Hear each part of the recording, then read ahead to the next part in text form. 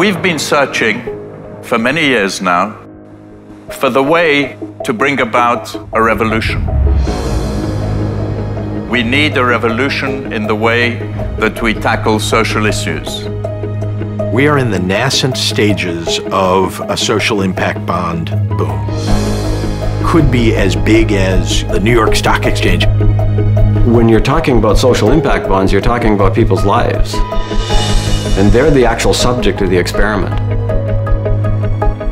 We've now got proof of concept across more than a dozen social areas unemployed youth, adoption, foster parentage, homelessness. The investor is expecting a 10% return every year. What's going to be achieved and how are you going to prove it? It's interesting that what you need is a banker to come in and tell homeless people why they're homeless. It's the Wall Streetification of public services. The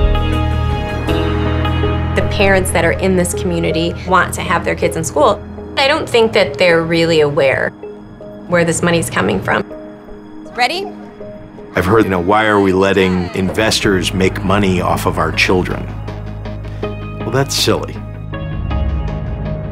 The notion that everything that society does can be done so that we can make money from it, I think that's a very strange notion.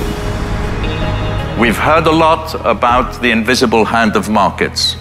Let us bring the invisible heart of markets to help those whom the invisible hand has left behind.